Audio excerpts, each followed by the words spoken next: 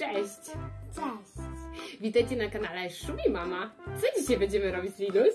Kroić. Zapraszamy! Do wykonania naszych króliczków potrzebujemy stare skarpetki, Taśma. jakieś różne wstążeczki,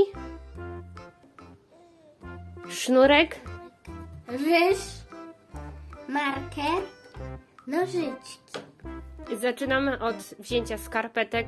Ja tutaj mam, widzicie, takie już zużyte skarpetki dziewczyn. I teraz do tych skarpetek wkładamy taśmę klejącą. Z tym, że ja mam małe skarpetki, no bo to są dziewczyn skarpetki, więc wkładam taką małą taśmę. I ja tutaj użyję lejka. No i przysypujemy. Tak, żeby ryż spadł nam na dół. Jeśli nie macie ryżu, możecie zastosować kaszę. Też nie ma problemu, dobrze się sprawdzi.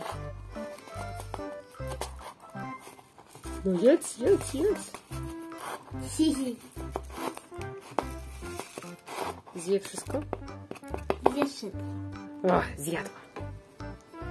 Dobra, wyciągamy. O, trochę się nakruszyło. Nic nie szkodzi. Dobra. I teraz uwaga, bo teraz szukamy pięty. Gdzie mam piętę? Tu. Tu i tu będzie buzia. Dobra, to robimy tak. Bierzemy teraz sznurek i wiążemy tutaj sobie sznurkiem. No i teraz tu, gdzie jest pięta, to będzie buzia. Więc coś sporą buzię. Ale jeszcze musi mieć z tyłu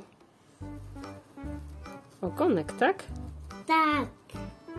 Dobra, to bierzemy kolejny sznurek i robimy ogonek.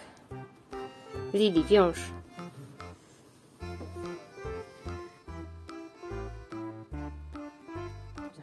O, jeszcze, jeszcze, jeszcze. O tak.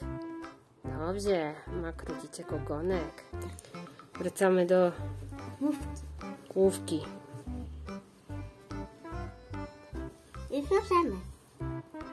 i wiążemy.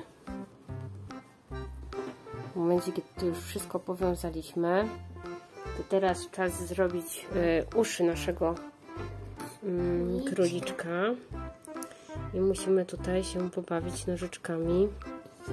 To już jest raczej zadanie dla mamy, bo tu dosyć jest czasami ciężko to przeciąć.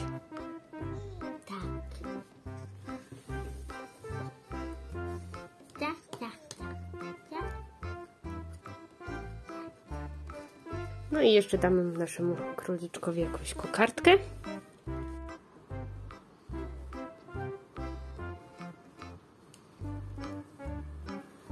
No, Lili, dawaj oczy.